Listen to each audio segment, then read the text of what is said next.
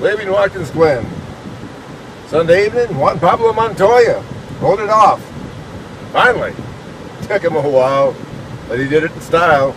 Brian Pattie, his crew chief, he was emotional after afterwards. Remember, Indianapolis, two years in a row.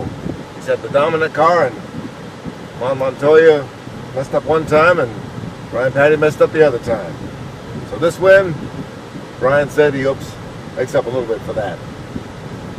It was a good win, a great day, nice crowd. They said 90,000. That might have been a little generous, but I don't know.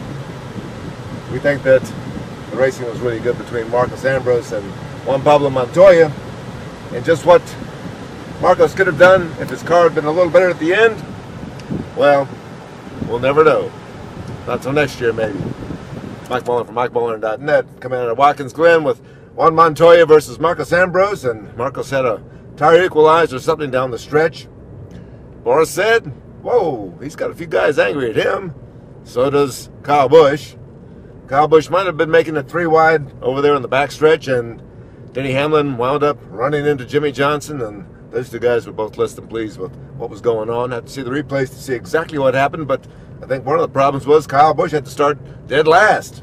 Qualified 10th, but some loose weight in the car, and he had to make some changes before the green flag even fell. Started at the rear, made it up to 8th by the end. Was doing good. Had a good fast car. Not a lot of luck over there in the far stretch. Jimmie Johnson, I tell you, he's hit uh, a run of bad luck.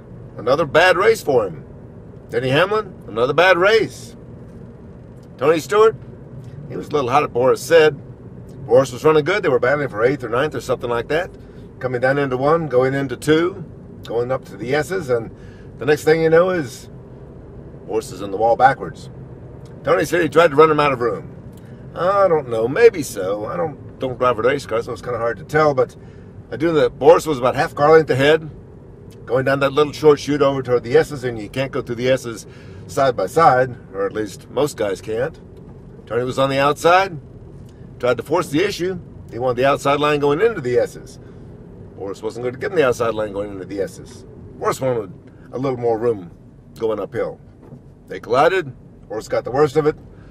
And that wasn't the only time that Boris drew the ire of another driver. Greg Biffle was criticizing him too for some bad moves. I don't know. Boris shows up. It's a good guy.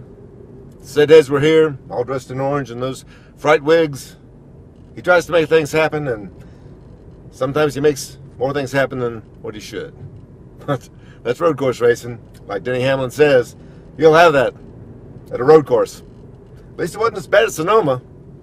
Whoa, those guys were knocking them out out there. This thing was a relatively mild-mannered race compared to that. And Juan Pablo Montoya, he turns out to be the big winner. Juan Pablo Montoya, winning Watkins Glen, Kurt Busch, surprising second, Marcos Ambrose phased to third. Mike Mulhern for MikeMulhern.net at Watkins Glen International.